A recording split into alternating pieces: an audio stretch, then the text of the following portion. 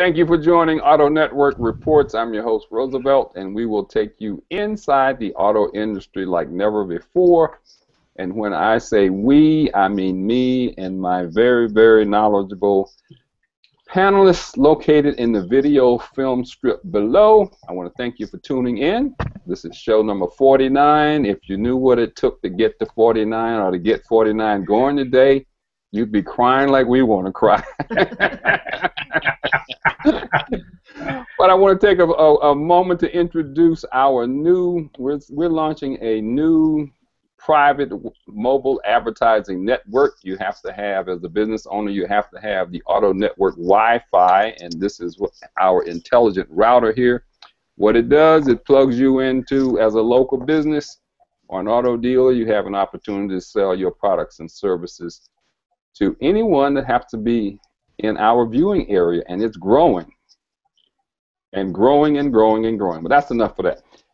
Okay, let's get down to uh, what's going on. Have the panelists to introduce themselves. I'll introduce our special spotlight business after everyone else introduces themselves, and we'll start with Linda first, since I know she likes to be first. oh, I like to be first on the racetrack. Uh, hi, I'm Linda Sharp, and I'm coming to you from uh, the outskirts of Mayberry, USA, Mount Airy, North Carolina. Uh, it's a little cloudy here. Looks like it could snow, but we're not going to let that dampen our spirits. I've been in this business for 20 plus years. Um, bona fide car nut. Been accused of having oil in my veins. Uh, wrote for the Atlanta Journal Constitution for close to 20 years. Uh, I've written for major publications all across this country, and I have a website, sharpdriver.com, that uh, delves into a lot of car reviews and uh, also my racing annex. So um, just pleased to be here and uh, good to see all my buddies that are still hanging around for the big show today. Greg. Hi, I'm Greg Morris. I'm executive producer of Bumper to Bumper TV. I'm based out of Atlanta, Georgia.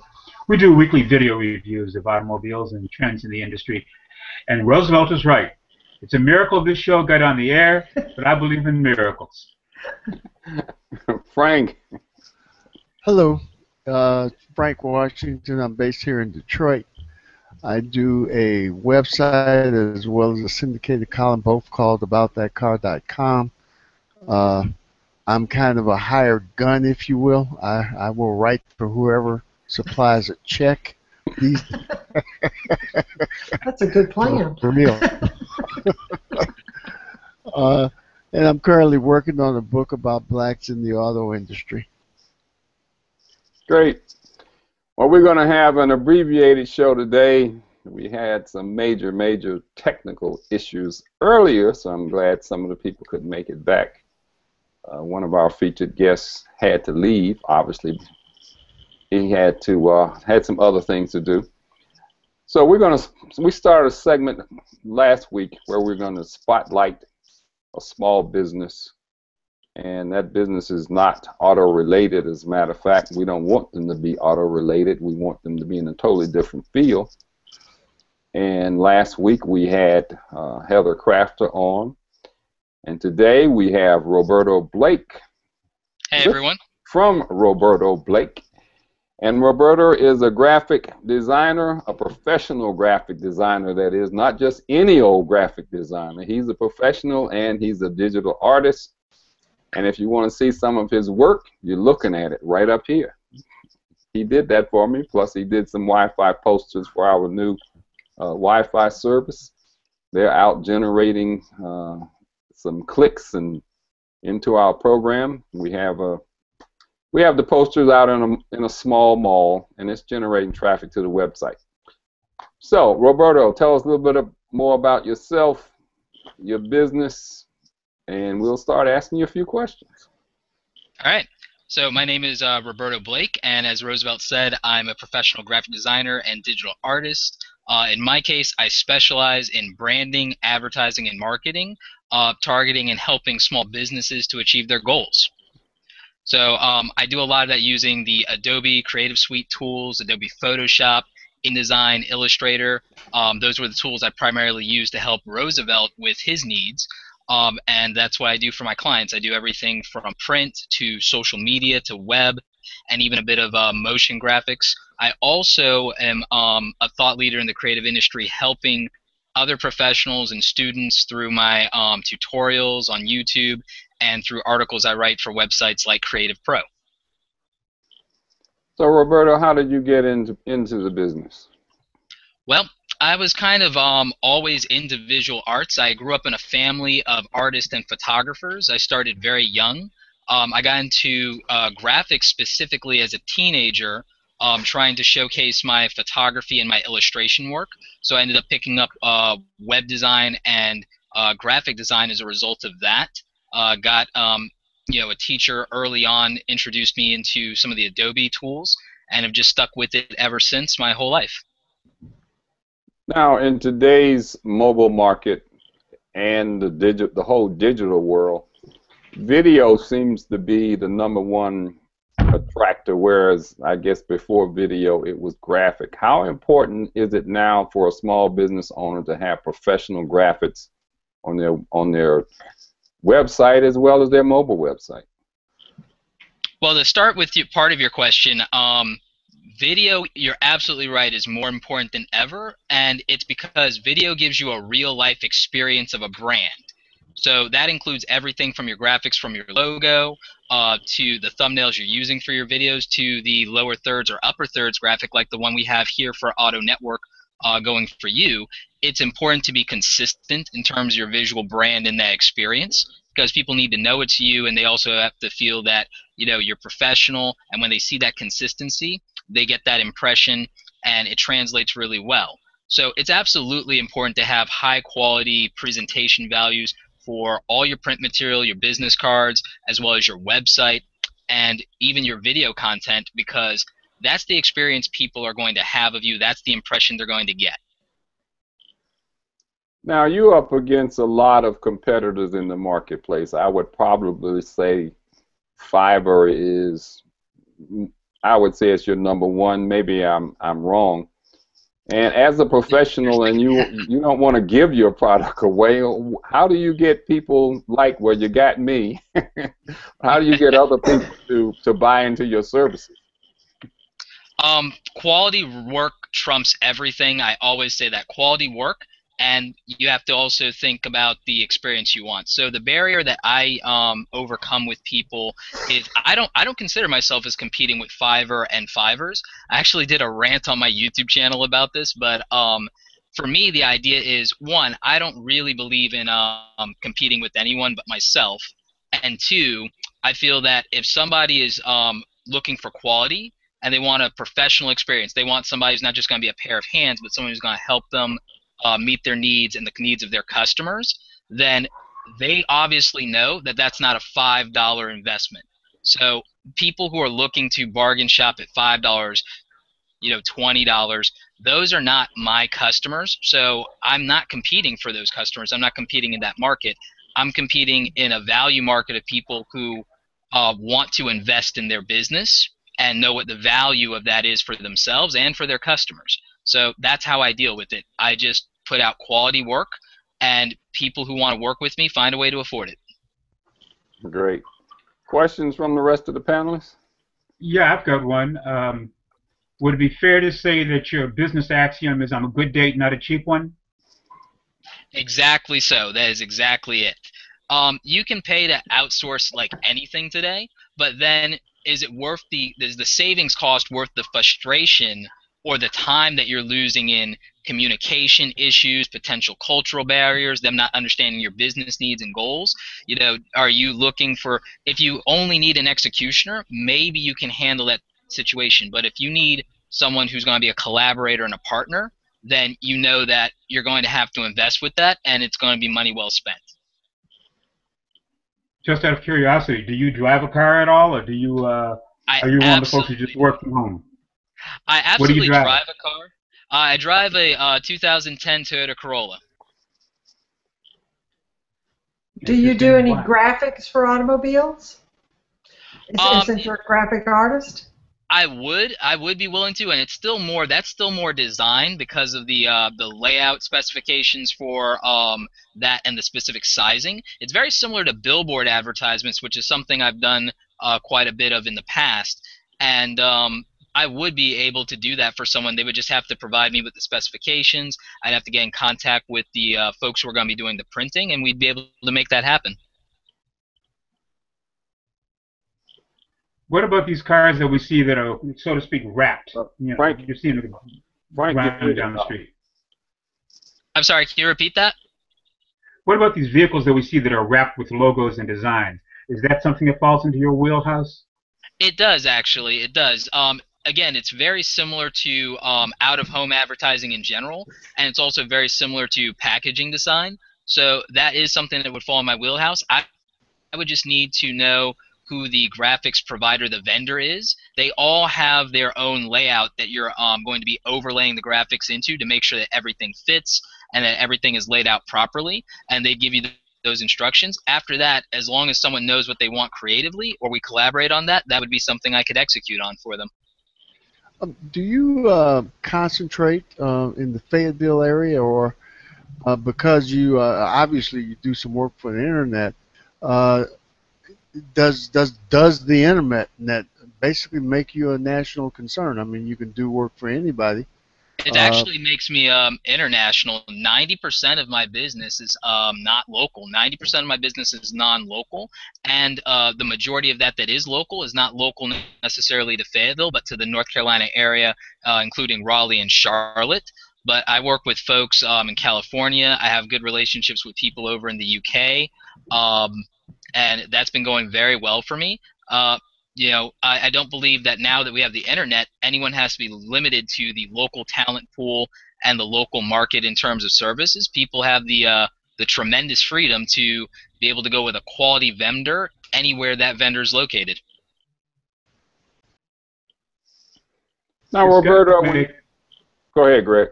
I was going to say, it's got to make for some interesting cultural discussions when you're dealing with someone from the UK or Europe or Asia, and you're in Fayetteville, you know, getting through the cultural differences to understand exactly what the client wants.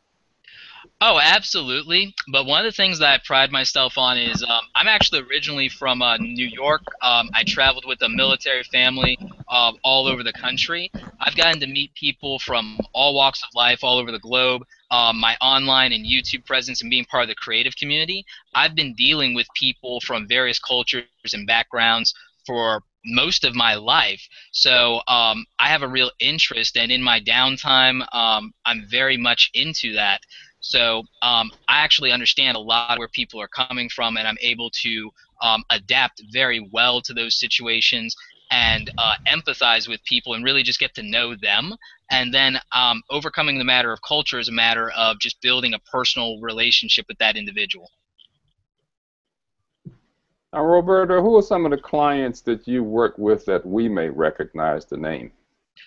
Um, in the past, when I was working with an ad agency out of New York, um, you might have actually seen some of uh, my HBO Sports work. Um, I did some stuff from the Lombardi documentary, as well as a few of the boxing matches. Um, in terms of the film industry, um, I worked with a company called LBYL Films. They had a feature film in 2012 out called uh, Desperate Endeavors, which featured uh, Michael Madsen, who also was in Kill Bill. So if you saw his face, I'm sure you'd know exactly who I'm talking about. Um, let me think of some other ones. Um, some of it is also uh, design related. I don't know if anyone in the audience would be familiar with this, but my stuff has been featured in Advanced Photoshop magazine, which uh, may you may have seen on the shelves if you uh, walk into a Barnes and Noble. Um, let me think. A lot of the brands that I deal with, they might be specific to their particular area, and some of it is through marketing companies. So as far as the ones that I'm allowed to talk about, uh, that's pretty much um, you know what that looks like. Now, you also will do logo designing, which I'm sure is uh, a tedious task because you're trying to get someone to explain to you what they want a logo to do. How do you translate, say, what I would like for my logo to do for me into an actual digital logo? So one of the first things, that's a great question, by the way. So one of the first things um, I get to know about a person and their business is who their customer is. Because at the end of the day, it's not even about satisfying uh, what I want visually, and sometimes not even what the client may be thinking they want. ultimately a client is trying to deliver and sell more to their customers and service their customers. So I try to kind of build out a profile of who their demographic and who their customer is and ask them what they're trying to achieve. Once I know that, we can have a discussion, we can throw around ideas, we can talk about um, aspects of the name and what we want them to associate with their company. So let's uh, let's say in the case of your, your business, Roosevelt, um, if you were to tell me that you want a new logo design and a logo refresh, we would talk about what you want to convey. What are three things you want people to think about when they think about Auto Network? And then we would take those adjectives, um, whatever they might be, and we would start thinking about what physically immediately creates uh, recognition with those values. Now, how time consuming is that process? Are you talking about weeks, months? It depends on each individual client, but I usually say that like um, the initial conversation phase of everything, which can be protracted throughout various phases of the design. Um, in terms of conversations with the clients, I like to have somewhere from two to five hours, and that doesn't have to be consecutive of you know time in a conversation with a client on a project like that because we're representing that client, we're representing their brand, and we're trying to communicate to their audience. So it's really important to be very clear about what we're trying to say about the business. So I think that's worth five hours of going back and forth in terms of time just talking about and rehashing the ideas and making sure we're on the same page. As far as the actual design, you're looking at maybe another two to five hours of research, maybe two to five hours in thumbnails, executing on those thumbnails once they've decided on a concept. That might only be two hours of actual design in Adobe Illustrator. Um, assuming that they already have a color scheme, uh, it might be less, could be more. Then after that, if it's just one logo with no variations, it's a matter of producing a few files for print, uh, web, and uh, what they need in terms of source files, uh, complementary fonts that go with the brand, and then we're done. But if there are a lot of variants, like let's say you want a long logo and a tall one, and you need an icon, that could extend all of that time by quite a bit, which is why I don't feel like five dollars is appropriate for a real professional logo, given that process. Now, do you discuss the life expectancy of a logo when you talk to a client? I do, and it really depends a lot on their particular market. Um, in the technology market, things can adapt and move very quickly, and depending on what they're trying to do in the space, that could mean that a logo might last five years, it might last 10 years, it might last 20 years. It really depends, and it also depends on how how they feel their audience is in terms of longevity there. If they feel like their audience is going to shift uh, generationally very quickly, they might need to refresh the logo sooner rather than later. Um, so that could be an issue in terms of the lifespan of a logo. It really just depends on the audience. You've noticed that a lot of brands that have had um, logos around for the longest time have done refreshes recently, and that has to do with them wanting to make their brand new again for another generation as we transition to millennials becoming the larger buying market. So Belk, Pizza Hut, um, a few others have done some recent logo updates as a result of that. Questions? Do you get built? Do you get any of those big uh, guys coming to you and say, "Hey, show me what you got"? Not as of yet, um, lately, but um, I do have people in the small and medium market. Again, some of them I can't talk about as their projects are ongoing or there's you know NDA stuff involved. But uh, the ones I can talk about, I would say that lately I've been getting a lot of requests and interest in logo design uh, from businesses of all sizes. So now is your work basically all digital related, or do you do any hard? I mean, when I say hard physical work, I mean, is there anything that's like print or like where people will do logos on clothing or things like that, or is is the majority of your work done digitally? Um, a lot of it is actually both. The majority of it, I would say that I get a lot of print work, but I would say that that ultimately ends up becoming web work as well. Um, with logos, they usually need it to work in both worlds, which is where the production part of the design comes in. Once you design a logo, it's not just, oh, here's a JPEG, here's a PNG. They need um, the print files, which are going to be CMYK, like you said, so that they can go on, if they need to put it on T-shirts, if they need to put it on posters, what have you, even if I'm not designing that work, then they need that. Um, with the logos, if they are getting them done, they usually have a website that they need to put it on. So they'll need a different size and a different color set RGB for that. So I get a lot of both. I get a lot of um, business card packages with the logo design stuff. A lot of people want social media packages to go with that, and then they'll want their print collateral in terms of business cards, letterheads, um, envelopes, things like that. Uh, will you tell your clients, uh, or do you tell your clients, uh, how to protect the logo? You know, because if they're investing in a logo uh, to to uh, basically, how should you say, market and advertise their business to convey a message to their consumer or their clients, then it seems to me that the, that the logo or design is, is relatively important. It's a, it's a part of their business strategy how they protect a logo. You know, uh, because you know there are a lot of businesses doing a lot of uh, doing the, uh, the same thing, trying to get the same customer. How do you uh, advise your clients, uh, or do you help your clients protect the logo once it's designed? That's a great question. So one of the things I do is I caveat that with telling them that I am not giving them quote unquote legal advice, um, as um, I don't want to be a hook for that per se. What I do do for them is um, one, once I have final payment from them, the um, rights in terms of ownership transfer from me to them upon final payment, which is the standard agreement when you get design work. There are obviously rights that I do retain in terms of showcasing it, unless uh, they've paid for rights beyond that um, and have paid for things that might go into an NDA agreement, etc.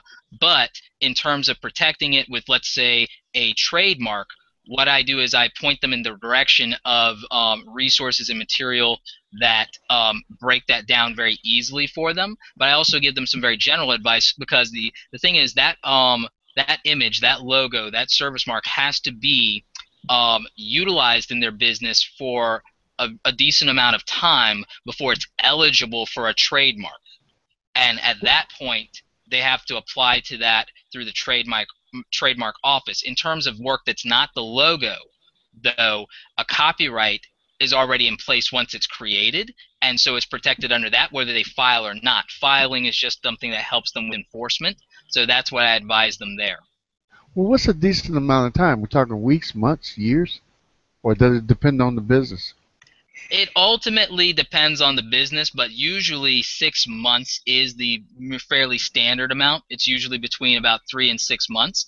And a lot of people, what they'll do is um, they'll, at that point, have the uh, trademark pending, and then it's a matter of the trademark office doing the necessary research before they release that trademark specifically to them. And it also is a matter of what trademark they're going for because there are a lot of different types of trademarks, believe it or not um, or rather a lot of different types of provisions, and it's a matter of whether they want a national versus international trademark. And it also depends on eligibility. If they have a name that might be considered a generic term in their industry, it's harder to trademark.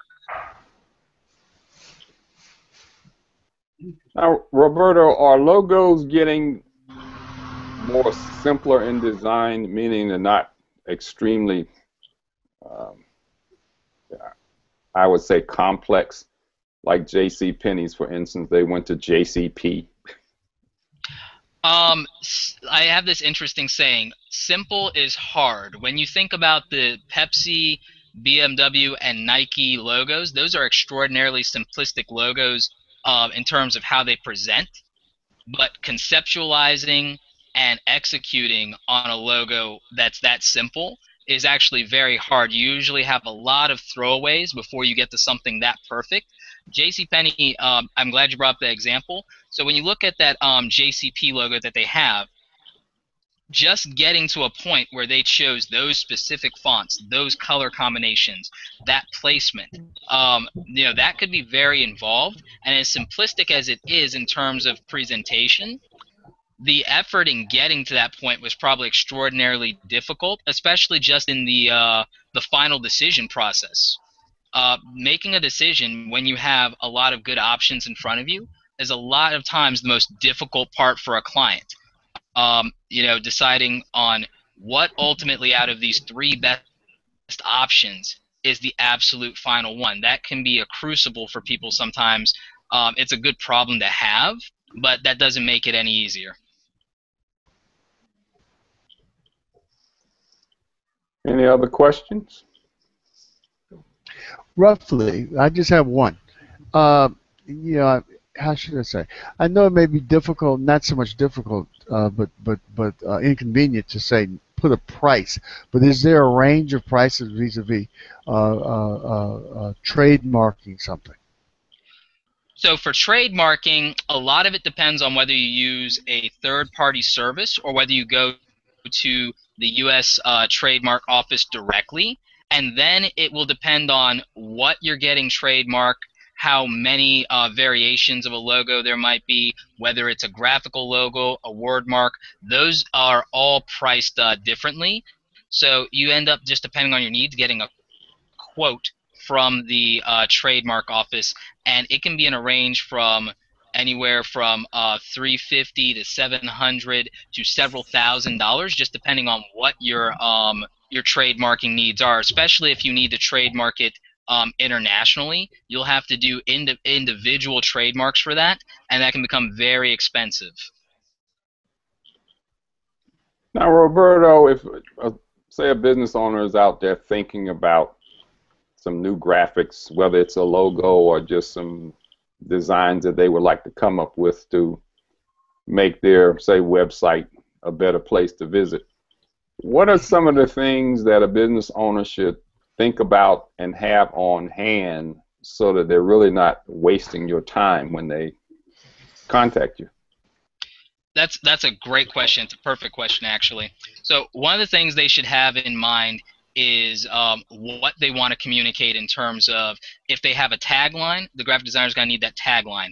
If they have some phrases associated with their business that are commonly known, uh, that's going to be very helpful for the graphic designer in putting things into context and also putting together word combinations. Um, if they have an established color scheme that already they've used for advertising before, that's going to be helpful for the graphic designer to have so that they're using the established color palette they're being consistent with the brand. Like i know that your colors are white a very specific red and gray and black. So knowing that going in gives the graphic designer something to work with in terms of what colors they need to focus their attention on and uh, also any themes and symbols they're associated with the business. Um, even if it's stuff that you wouldn't think um, is obvious. There are things that obviously go with cars, but let's say that you specifically like certain things, like in your case in the auto industry, that maybe you think that um, representing a steering wheel might be helpful rather than using tires. Representing um, you know fuzzy dice hanging from uh, the rearview mirror might be better than using um, spinning tires. It's things like that that are very helpful. And also, if there are fonts that you have that are already being used with, uh, and you don't want to change them, they're ones that absolutely consistently go with uh, what you're doing, then that's going to be helpful because one of the important things is um, if you're doing that, no matter who you're using, if you don't use the same graphic designer, if you use 10 of them, if you're consistently thinking about what needs to be consistent in your branding and giving that to every single graphic designer the same way every time, then that means regardless of what the artistic vision of a person you're working with is, your um, work is going to look unified, your brand is going to be unified, so people aren't going to have to second guess whether you know that's auto network or not. Final questions, anyone? Learn a lot. I want to thank you for taking the time to uh, come on Auto Network Reports, spotlighting Roberto Blake of and with Roberto Blake, professional graphic designer and artist. You're welcome to come back anytime. Throw up some free logos for me, some free design. But I, I, I think I have a couple other things I want you to take a look at for me. So we'll see what we can do with that. Um, all I can say is using Roberto has has been a pleasure. He stays in contact. He asks a lot of questions. It gives you several examples to choose from, and more important, he listens to you. So I can I can attest to that. If if that'll help you at all, it may not. but folks, we're going to cut this short today. We're just going to have a spotlight feature. It's a special edition of Auto Network Reports. And as always, please buckle up. Don't drink and drive. See you next time. All right, it See you great next week. everybody. Thanks for having me.